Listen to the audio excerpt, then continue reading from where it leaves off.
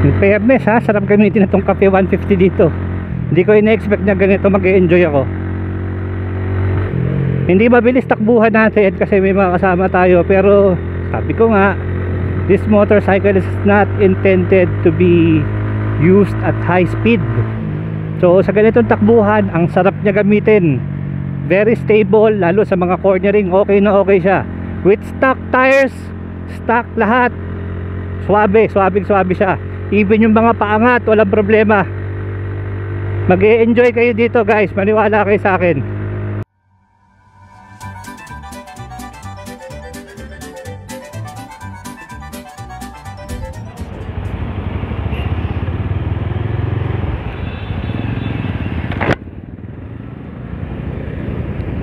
So off we go Hopefully makaabot tayo sa Marilake Kasama natin si EJ Dagtum Adventures Saka si Sir Jet. Nagpakargalan tayo ng gasolina saglit dito sa may Shell Pugon. And ito na Biyahe na tayo. Chill ride lang tayo mga sir ha?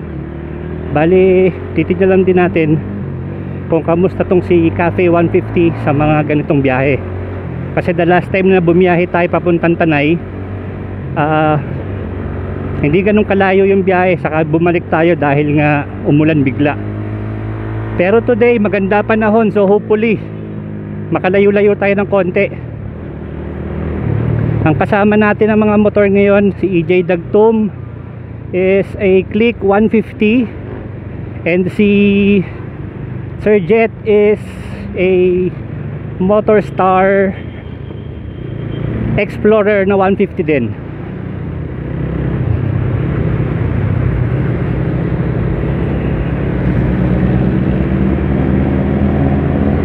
So kanina nga pala no sinubukan ni Sir Jet yung motor natin kasi nga uh, gusto niya ma-experience kamusta na si Motorstar sa mga bagong model.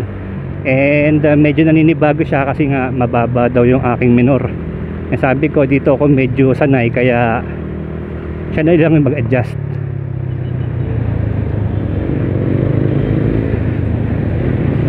ang gamit niya kasi yung Explorer 150 ng Motorstar hindi ako sure pero 5 or 6 years niyang ginagamit yan. So isa siya sa makakapagsabi kung talagang reliable brand ba si Motorstar pagdating sa motorcycle. Kasi other than the motorcycle na ginagamit niya ngayon uh, prior to that motorcycle niya is a Motorstar din. Hindi ko lang maalala kung anong model. And ang sabi niya sa akin gumagana pa rin daw yung motor na yun pero yung utol niya na ang gumagamit sa ngayon si boss EJ Dagtom naman. Abuti nakahingi tayo ng konting oras niya. Laging busy tao yan kasi he's a college professor and an entrepreneur. So laging tight ang schedule niya and mabuti nga napaunlakan tayo na makabiyahe ngayon. After ng biyahe natin alam ko may mga gagawin pa yan kaya talagang mabilis na ride lang tong takbo natin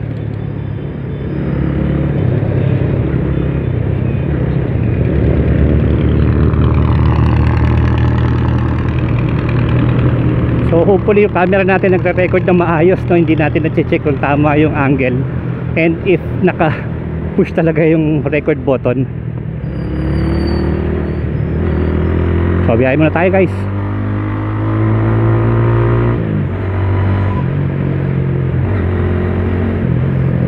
Nakakasilaw yung liwanag.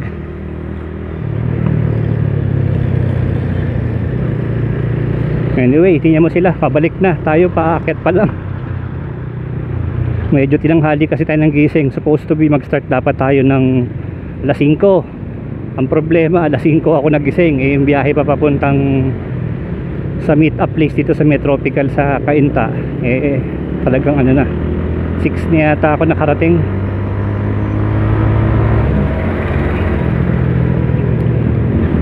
So guys, don't forget to ano rin ha, to check yung YouTube channel ni Sir EJ Dagtub Adventures. Uh, marami kayong makukuha mga tips sa kanya. Siguro pag nagdagdag siya ng mga videos, there will, there will be uh, some videos na related sa business. So baka may mga gusto kayong pasukin eh malaking tulong to si Sir EJ Dagtum sa inyo and he's a motorcycle enthusiast matagal na rin nagmumotor yan bago pa nauso ang motovlogging sa Pilipinas so mamaya kung may time tayo pagbalik konting interview kausapin natin malaman natin ano ba yung mga naging first bikes niya and bakit Honda Click ang ginagamit niya ngayon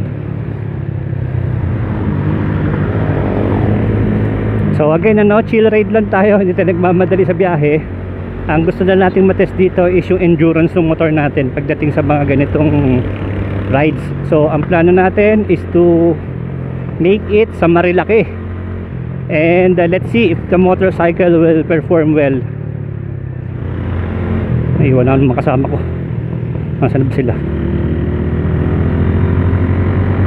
Iba kasi yung chill ride ko sa chill ride nila.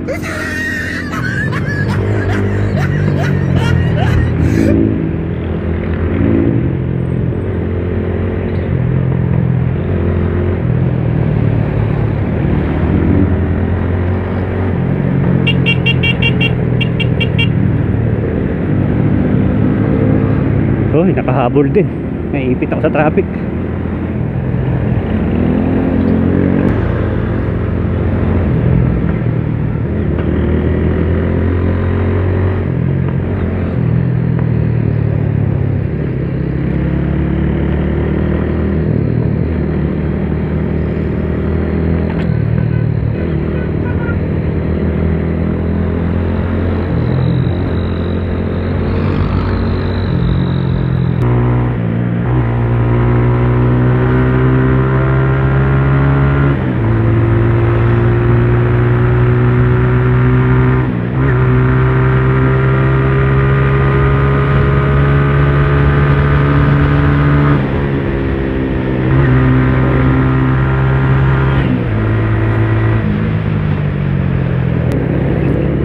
So from here siguro maluwag-luwag na yung biyahe natin.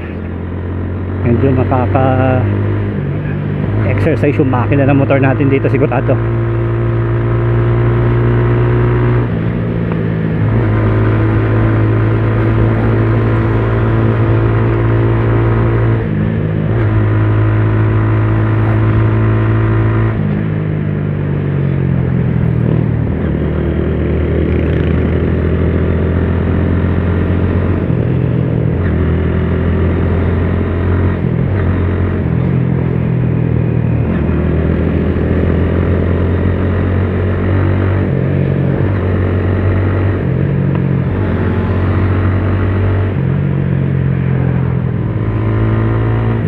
Ganda ng panahon.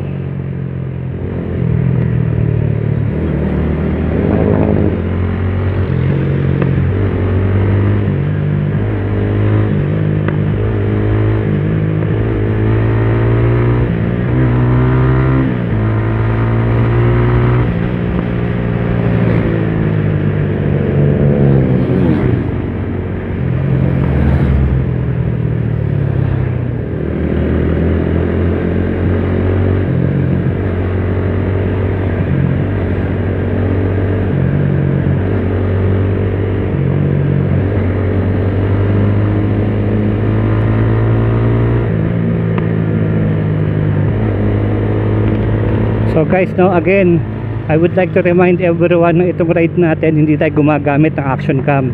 Recording the video for this ride is just our cellphone and our regular headset. So kung makita nyo medyo hindi ganun kaganda yung clarity, uh, pagpasensyahan nyo na. Soon we'll be investing on action camera talaga para kung gusto nyo makita malinaw yung mga rides natin, may magagamit tayo maayos. Pero as of the moment, tsaga-tsaga muna tayo sa cellphone. I'll try my best to edit para maging malinaw na lang tignan. Again, shout out sa mga kasama natin, si Sir EJ Dagtom Adventures, saka si Sir Jet.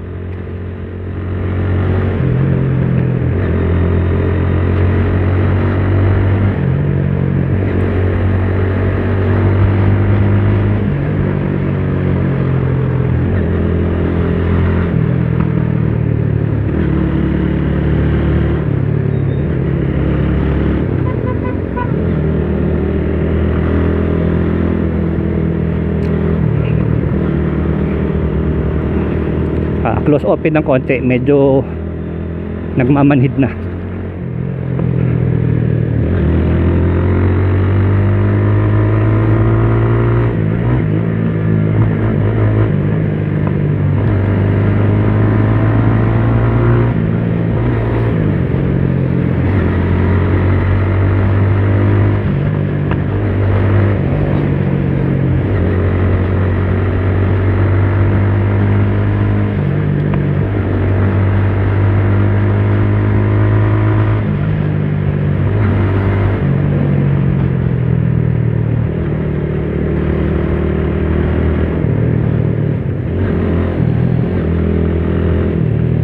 So sa mga nagtatanong ano, komportable ba gamitin tong motor?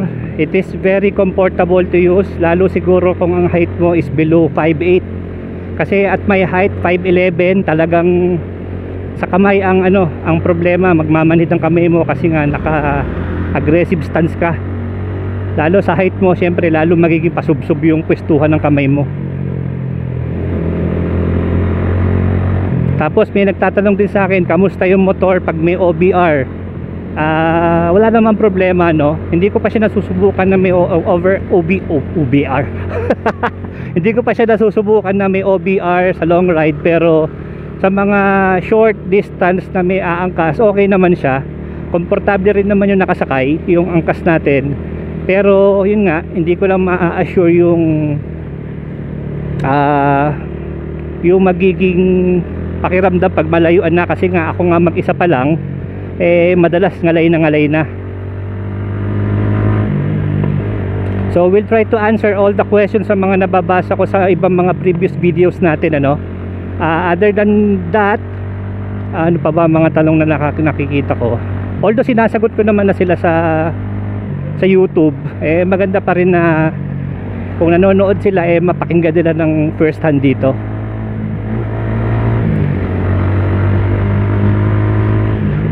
Yung tagtag okay naman, very comfortable naman siya. Hindi siya sobrang lambot, hindi rin naman siya sobrang tigas. Sa gulong, yung dulas niya not so much anymore. Siguro kailangan la i-break in. Ito nga, maka 1,000 kilometers, gumanda na yung kapit niya sa ano eh, sa kalsada. Yung makina naman, kung tatanungin nyo kamusta ba yung performance ng makina, Well, ang napapansin ko lang no, habang madalas mo ginagamit, habang tumatagal mo ginagamit yung motor, mas nagiging ano siya, mas parang refine. Mas gumaganda yung takbo niya, mas parang gusto niyang magpabirit na magpabirit.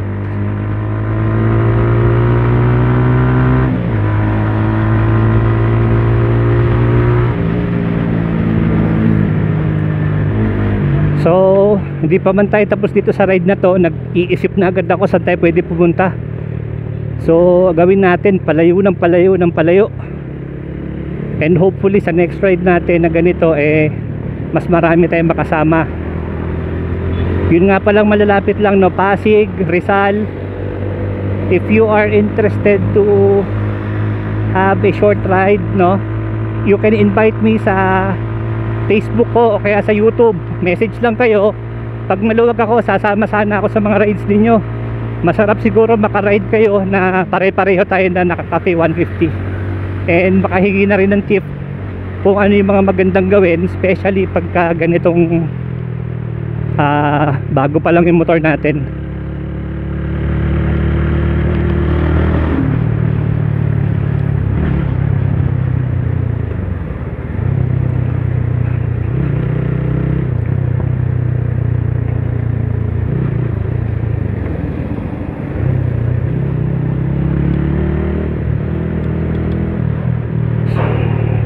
Also nga pala, gasoline consumption, wala kang po problemahin, sobrang tipid. Although hindi ko chine-check siya, yung actual, pero based on my rides naman, makikita mo naman dito, parang hindi nababawasan. So, later pakita ko sa inyo, no, and pagbalik natin, ano na ba yung naging, ah, kung saan na nakaturo yung ano niya, yung needle niya. So maganda sa ride na to, maluwag ang kalsada, ah, talagang medyo naibubuga natin yung kayang gawin ng makina. Pero syempre medyo alalay pa rin kasi ah may ibang mga gumagamit na kalsada. Pero kung maluwag at may opportunity bakit hindi natin anuhin? Ayun ganda na naka X-Max poging pogi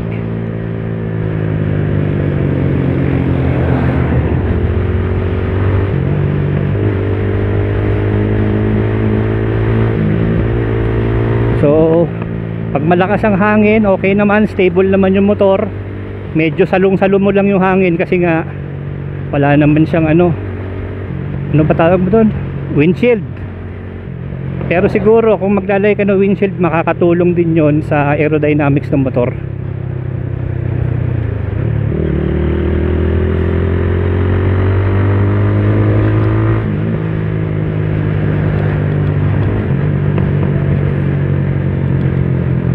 tapos nga pala no ah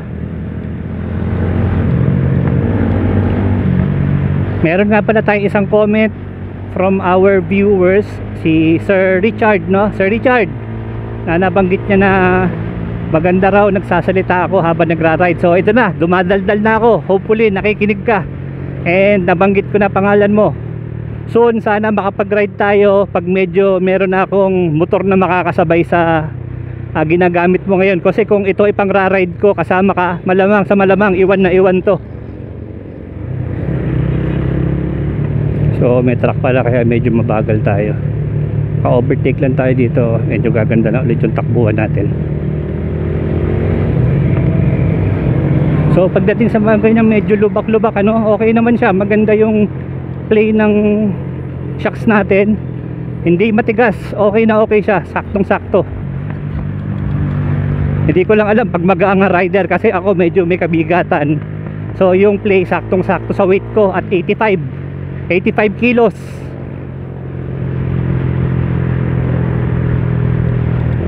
Checkpoint. Wala naman tuloy tuloy lang.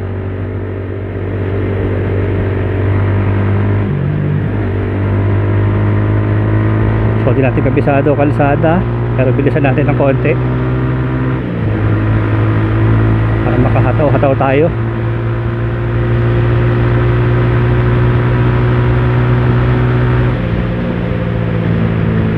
Hala, ang bagal Mamaya subukan natin ulit. Medyo kapos. Yun nga pala ano, kwento ko lang sa inyo. Kanina, sinubukan ni Sir Jet itong motor natin. Sabi niya, ang bilis lang daw Makuha yung 80 Eh, sabi ko sa kanya Siguro sa weight niya kasi He's only mga 60 something eh 60 something kilos. Compared mo naman sa 85 kilos Eh talagang malaki yung weight difference. So sa weight niya madaling madali siya makaka 100 dito.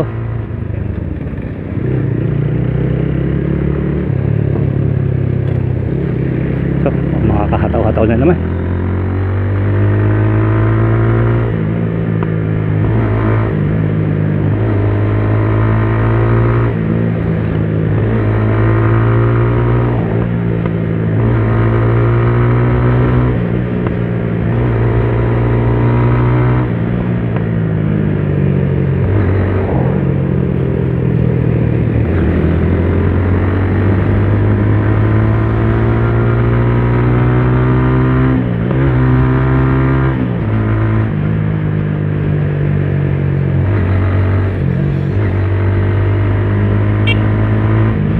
pagdating naman sa change gear niya swabe naman walang problema. Basta lalo pagkataba ang RPM setting mo mas madali siya pumasok. Although kung hindi naman madali pa rin naman pero mas swabing swabe pagka ano eh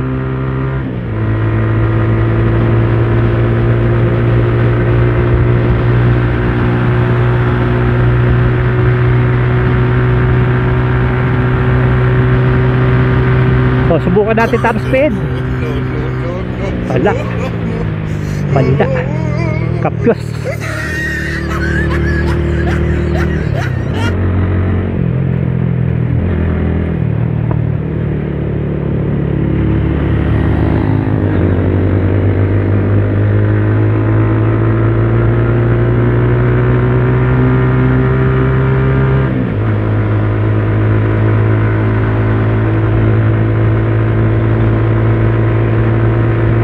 Sahod tayo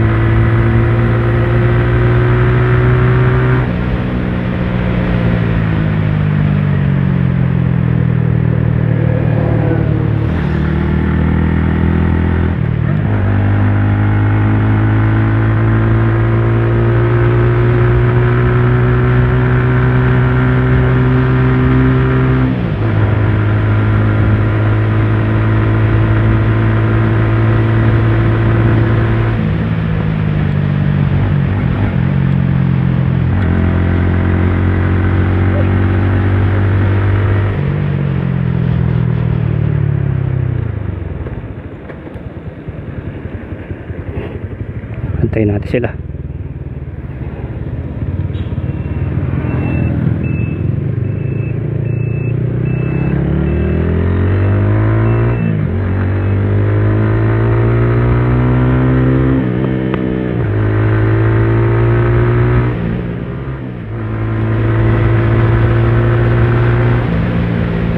Nakakagigil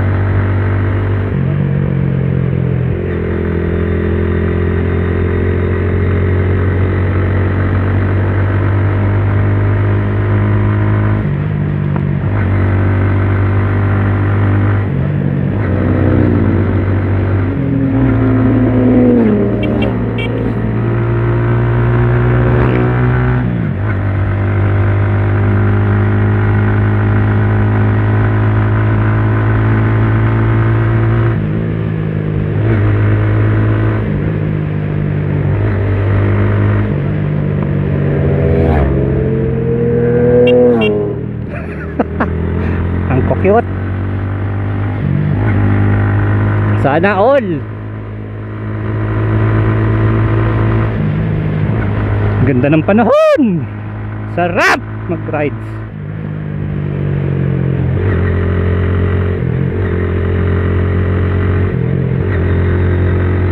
Fairness ha, sarap gamitin itong Cafe 150 dito. Hindi ko ina-expect na ganito mag-enjoy ako.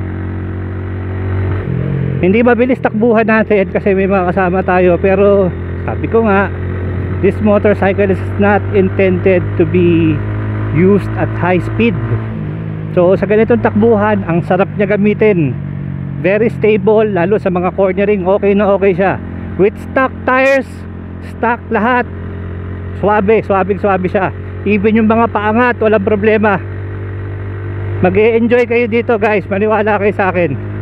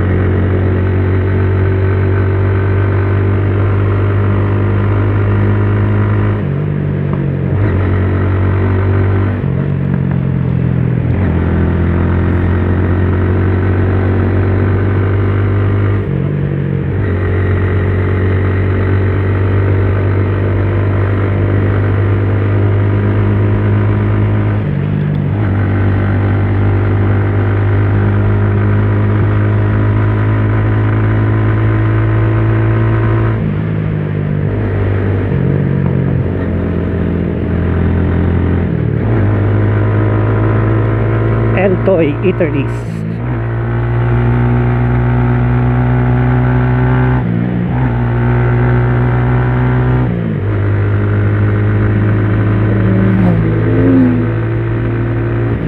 ganda tignan ng mga big bike! Ang popogi!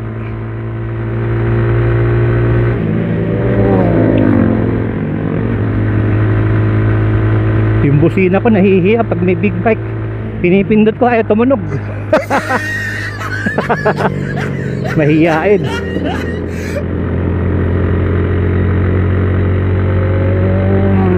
Soon, soon, sana. Sana magkaroon na rin tayo, sana all.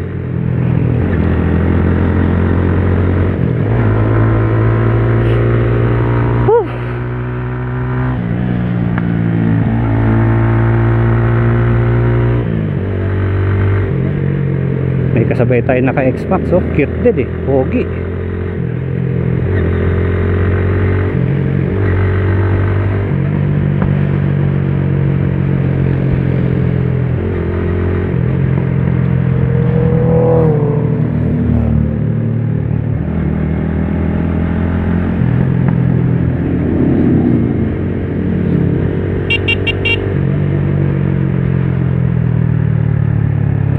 Parang sina Inday Rider yun ah.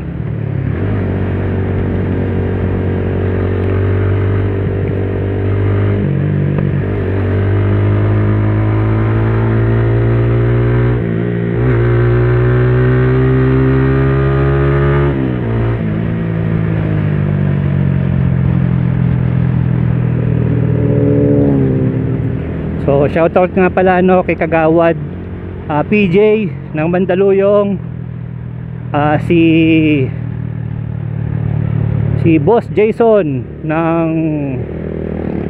oh, Boss Jason na Murong. Sana naman next time makasama kayo sa rides no? Ang dami natin plano pero hindi natutuloy. Set na natin. Set na natin. Ito biglaan lang kasi to ulit. Wala namang plano-plano na pag-usapan lang nung gabi. Tapos ito kinaumagahan larga agad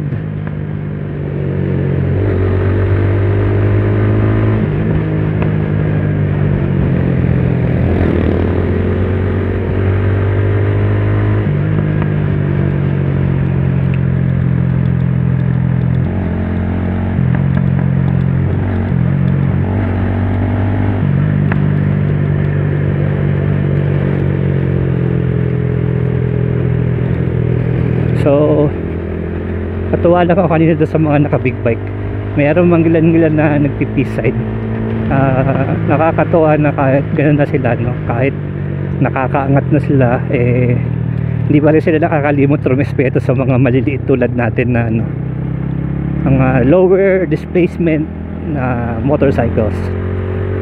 So pag tayo naka-experience sumawak ng big bike uh, respeto pa rin sa lahat. And uh, yung paggayabang ilalagay natin sa lugar. So ngayon mukha tayong apat. Isang NMAX si Serjet na naka ano to? Motor Star Explorer saka si EJ Dagtum na naka click 150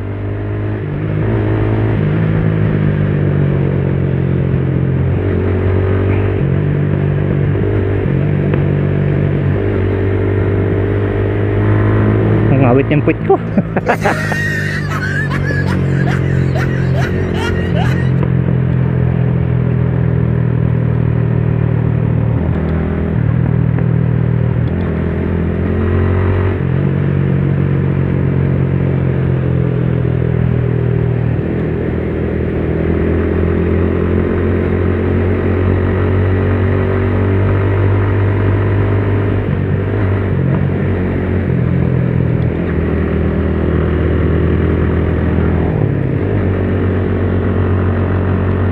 wala yata balak kuminto to mga to ah. ayaw magpahinga kahit konti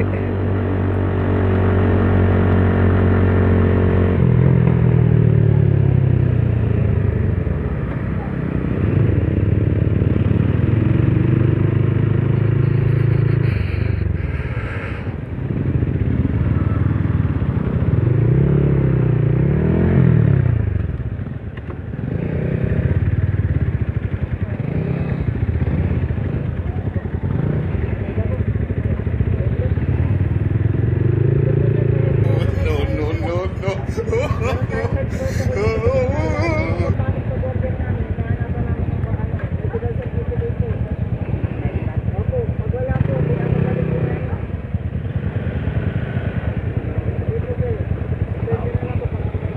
Bawal daw pumasok ng tanay pag walang health certificate. So wala tayong choice kundi bumalik muna siguro.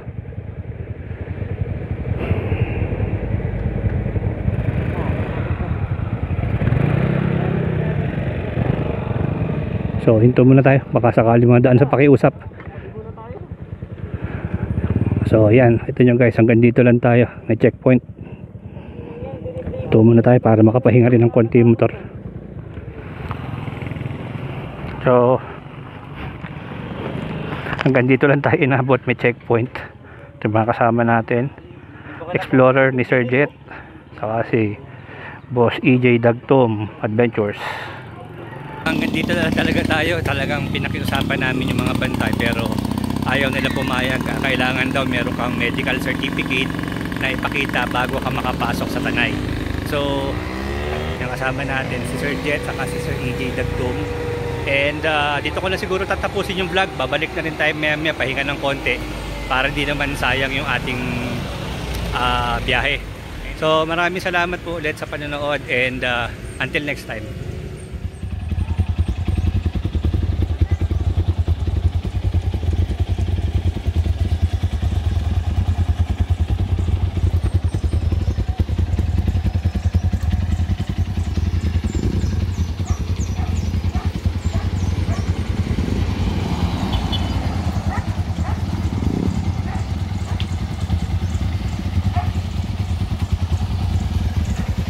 So, sabi ko kanina tatapusin natin yung vlog pero ito nagtuloy na tayo kasi medyo nang-waiting sila sa sa biyahe. So dumiretso sana tayo ng ano sa windmill. siya? Kaya ang problema lang sarado so hindi pwedeng pumasok. Kaya pahinga na lang ng konti dito tapos bayahin na rin pa uwi. So kasama pa rin natin si, ano, si EJ Dagtub Adventure saka si Boss Jet. So ayan sila nagpapahinga lang muna sa lilim okay naman yung biyahe sulit naman. So instead na ano parang nangyari mini ah tawag dito? Mini endurance ride na nangyari sa motor natin. And uh, based naman sa performance niya sa tinakbo natin mamaya check ko kung ilang kilometers yung natakbo natin. Pero more than 100 kilometers siya. Eh okay naman wala naman naging problema